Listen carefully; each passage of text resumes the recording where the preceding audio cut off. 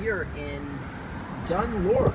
Dunlora is a very large, kind of master plan community in Charlottesville, Virginia.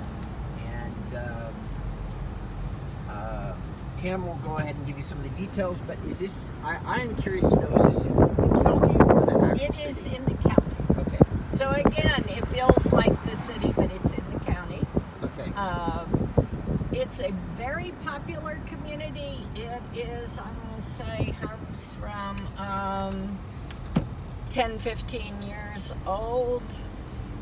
And there are quite a few that are two story. I'd say a lot predominantly two story. Not as many with first floor masters. Um, one of the nice things in this older section of Dunlora is all the established big trees. You've got these wonderful tree-lined streets. Uh, you have a variety of builders that were building in here, but again, as you can see, I'm going to say that the colonial style predominates. You're going to see a few homes that are are more transitional, one level style, but but not so many. Uh, it is very conveniently located uh, right off Rio Road uh, with easy access to Route 29 North and then also into downtown Charlottesville in the other direction.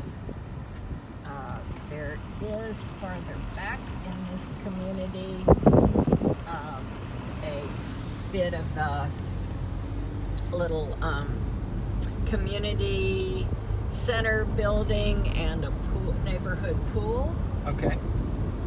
And then there are also um, trails down to some garden plots down by the river and walking trails down there.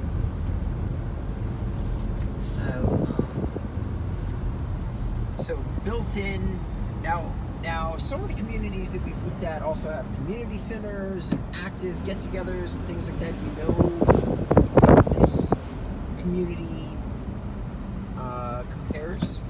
I do not know, but I know there is is the you know the the pool and the um, little community building by the pool.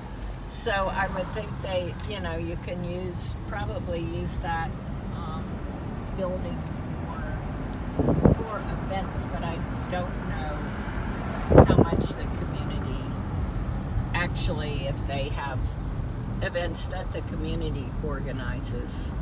This is just my my observation, which is not of trained eye at all, but there seems to be a lot of brick. There is a lot of brick. And there are a lot of homes again that are all brick. So they're they're very maintenance free. Um, and again, are a lot of Hardie plank. Uh, so you know, you've got you've got pretty good quality construction.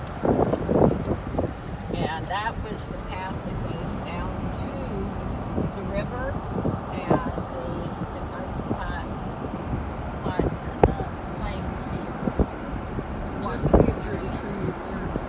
and things down, down there. Now, in the early part of 2020, do we know how many homes are available in this community? Uh, yes. There are currently two homes on the market, and they're priced in the 500,000s. And 18 homes sold last year, and they ranged in price from um, the low 400s to the high 500s. So my advice to those And people there's the clubhouse. watching the videos, if you're catching the video recently after we filmed it, all of this is probably good. If for some reason the video is still up and it's been live for a while, you might consider leaving a comment or going to Pam's website and messaging her and finding out if the information that she she recorded is still is still accurate because it can can change. Um,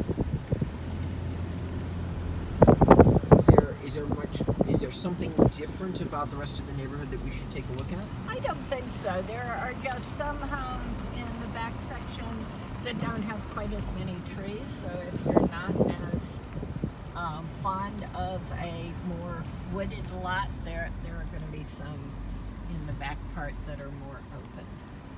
Okay. I think this is a, a good place to stop. If you liked the video, if you found anything useful about it, do Pam a favor. Please hit that like button. Thank you for joining us.